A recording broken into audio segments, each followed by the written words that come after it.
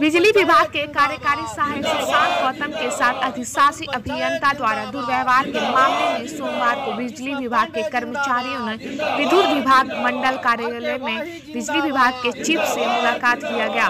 जिस दौरान कर्मचारियों ने पूरे घटनाक्रम की जानकारी दी। उधर बिजली विभाग के कर्मचारी के साथ दुर्व्यवहार को लेकर कर्मचारियों में रोष देखने को मिला।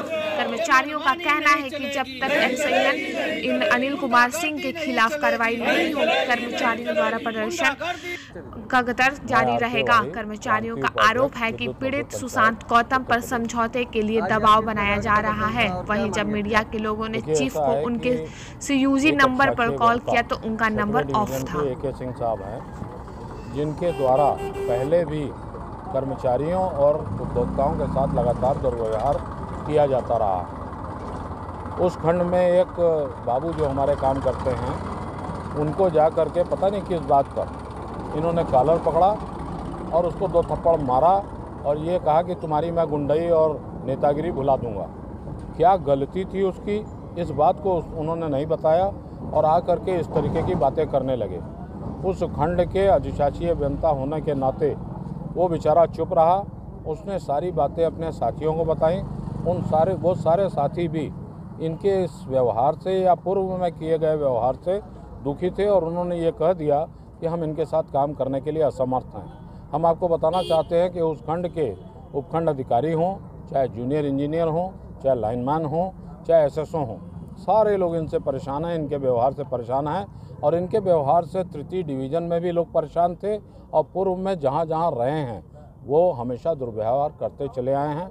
हमारी मांग है कि कॉरपोरेशन हित में कर्मचारी हित में इनको वहाँ से अन्यत्र अन्यत्र स्थानांतरित किया जाए और कार्य सुचारू रूप से हो सके यही हमारी मांग है।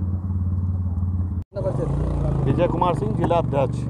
भैया जी आज किस प्रकार का यहाँ प्रदर्शन क्या मांगे थे? आज की यह है कि सष्टम डिवीज़न में 28 तारीख का जो घटनाक्रम हुआ है अधिशासी अभियंता द्वारा जो गाली गलौज और मारपीट की गई है उसी कड़ी में आज चीफ चीफ से हम लोग की वार्ता थी। कि जो उस स्तर पे क्या कार्रवाई हुआ है अब तक उस घटनाक्रम पे। उसी सिलसिले में आज चीफ साहब से हम लोग को आश्वासन मिला है कि जो भी कार्रवाई होगी जल्द से जल्द उस स्तर उनके ऊपर कार्रवाई किया जाएगा। और हमारी मांग है कर्मचारी हित में उस अधिशासी अभियंता को क्योंकि वहाँ डिवीज़न के सभी कर्मचारी कोई उनके अंडर में काम करना नहीं चाहता है। सभी की ये ये है मांग कि उन, उनको हटाया जाए। हम लोगों ने अपने मांगों को चीफ तक बता दिया है। और एमडी साहब से वार्ता करके चीफ साहब ने आश्वासन दिया है कि उनको जल्द से जल्द कोई ना कोई कार्रवाई होगी।